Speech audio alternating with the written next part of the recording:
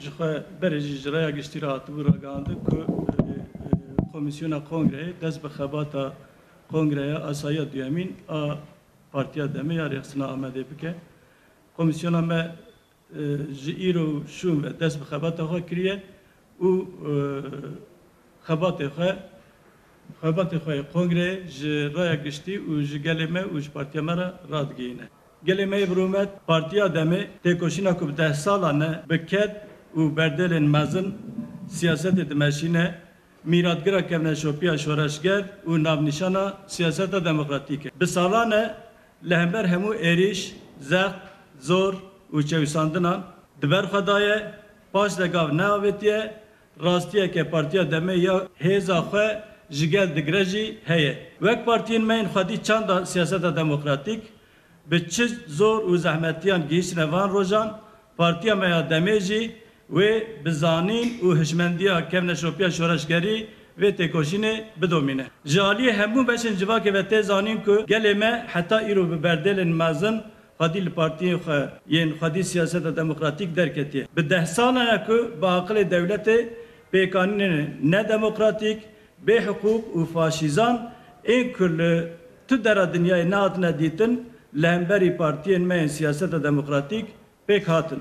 Serkeftina têkoşîna zindî û berxwedêr encama têkoşîna gelê me û rêhevalên me yên ku di şer û mercên herî giran de bi awayekî demdirêj bi biryardarî têkoşîn meşandine ye. Silav ji hemû gelê me ye ku bi biryardarî têkoşîn meşandiye û ji bo jiyana bi rûmet ked û berdêl daye re. Wekî ku tê zanîn Partiya Demê di deh deh mehan de hilbijartinên parlamento û rêvebiriyên herêmî pêşwazî kir. Gelê me li gel hemû zert, zor, çewisandin, qirkirinên siyasî, Pêvajoya hilbijartinan baweyekî serkeftî derbas kir. Hemû nirxandina rewşa me ya rêxistinî ya di pêvajoya hilbijartinê de hem jî ji bo baweyekî xurt pêşwazîkirina siyaseta siberrojê bi pêşbînî têkoşîn hate meşandin. Her wiha ji avabûna komarê heta vê demê û serdema desthilata akp-mehp jî di nav de li hemberî siyaseta demokratîk Operasyonên qirkirina siyasî pêk tên. Hemû maf û azadî tên binpêkirin. Her roja ku derbas dibe, di encama vê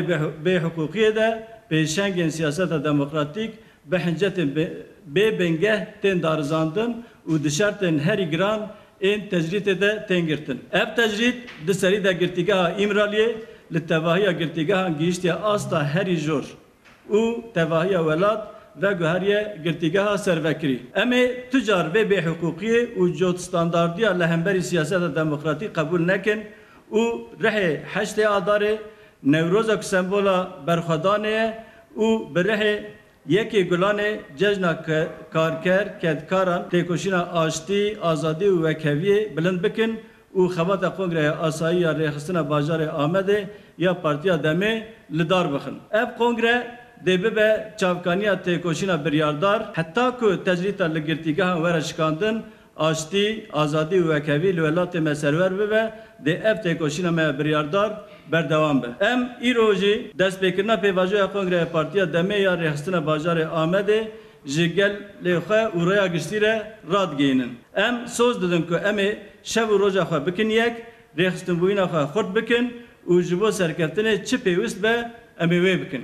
Em baş dizanin ku şertê serkeftinê rêxistinbûyîn e, ked e, lîyaqat e, fedakarî ye, rêgezên girêdana bi partiya xwe û bi aqilê hevpar Esasgirtina îstîşareyê ji bo berdewamiya sazûmaniya Pergala Hevserokatiyê ya ku di encama têkoşîna jinan de hatiye bidestxistin û temsîliyeta wekhev a jinan xeta mor a têkoşîna me ya azadiyê ya deh salan e.